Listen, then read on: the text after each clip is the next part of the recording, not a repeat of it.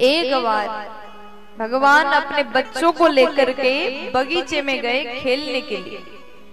बच्चों को खिलाने के लिए बगीचे में गए। भगवान ने बच्चों से कहा कि तुम लोग खेलो, मैं यहाँ पर बैठा अब बच्चे खेलने लगे। खेलते खेलते बच्चों को प्यास लगी। पास में कुआ था, वहाँ गए पानी पीने के लिए। लेकिन वहाँ पर जल तो नहीं मिला, एक गिरगिट पड़ा बच्चे दौड़ के आए। दौड़ के आए और कहा कि, पिताजी, वहाँ पानी तो नहीं, लेकिन गिरगिट है। चलिए ना, आप देख लो। भगवान गए पास में, कुएँ में, देखने के लिए एक विशाल गिरगिट था। तो भगवान ने, भगवान का स्पर्श जैसे हुआ, वो एक दिव्य मनुष्य के रूप में प्रकट हो जाता। है तो भगवान ने पूछा, आप कौन हैं?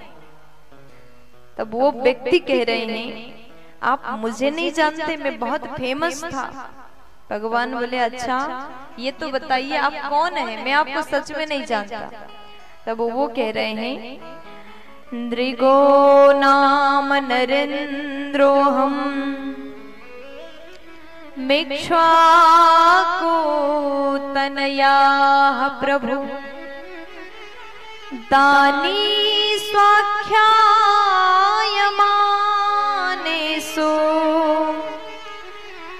यदि ते कर्णमस्पृशम। आपने सुना होगा, मैं राजा नृग और दान करके मैं बड़ा फ़ेमस हो गया। दाने स्वाख्याय माने सो मैंने ख्याति प्राप्त किया दान करने। में भगवान बोले अच्छा तो आपने क्या दान किया और कितना दान किया? ये भी बता दीजिए।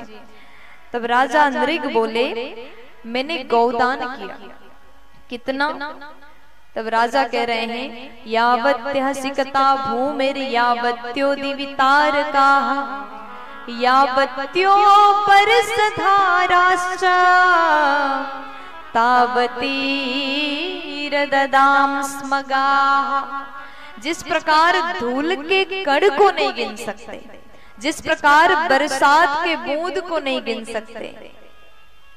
जिस प्रकार आसमान के तारा को नहीं गिन सकते उसी प्रकार मैंने गौदान किया।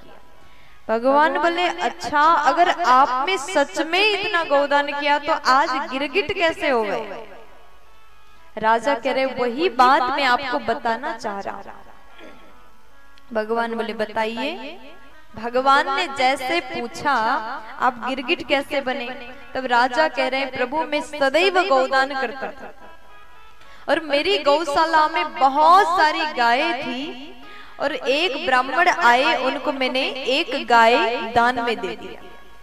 और थोड़ी देर बाद वो दिया गया गाय वापस गौशाला में आ गई पूरे गाय में मिल गई। मुझे पता नहीं चला थोड़ी देर बाद एक और ब्राह्मण आए मैंने वही गाय गलती से दूसरे ब्राह्मण को भी दान कर दिया। एक गाय जो है दो ब्राह्मण को हमसे दान हो गया। अब थोड़ी देर बाद दोनों ब्राह्मण आए। एक ब्राह्मण ने कहा राजन आपने गाय मुझे दिया था। दिया तो था मना भी नहीं कर सकता। सिर हिलाया हाँ जी दिया था। दूसरे ब्राह्मण आए उन्होंने कहा राजन ये गाय आपने मुझे दिया था। मैंने सिर हिलाया मना नहीं कर पाए क्योंकि दोनों को दिया था। अब ये पता नहीं चला कि एक गाय मैंने दो दो दोनों ब्राह्मण को दान कर दिया। अब दोनों ही ब्राह्मण अत्यंत रुष्ट हो गए। दोनों ने श्राप दिया, तुम एक निर्णय नहीं ले पा रहे। गिरगिट के समान सिर हिला रहे, इसलिए गिरगिट ही बन जाओ। दोनों ने श्राप दिया। इसी कारण से मैं गिरगिट बना। आज प्रभु आपके दर्शन करके मैं मुक्त हो गया।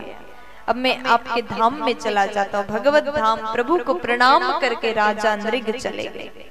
भगवान ने अपने बच्चों से कहा अभी अभी यहाँ जो हो रहा था तुमने देखा। बच्चे बोले जी पिताजी हमने सब देखा।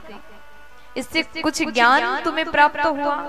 तब भगवान के बच्चे कहते हैं कि कभी भी दूसरों का धन हरण नहीं करना चाहिए। तब भगवान ने बच्चों को उपदेश दिया। देखो बच्चों स्वदत्ताम परदत्ताम वा। ब्रह्म वृत्तिम हरे चय षष्ठी वर्षा सहस्राणी।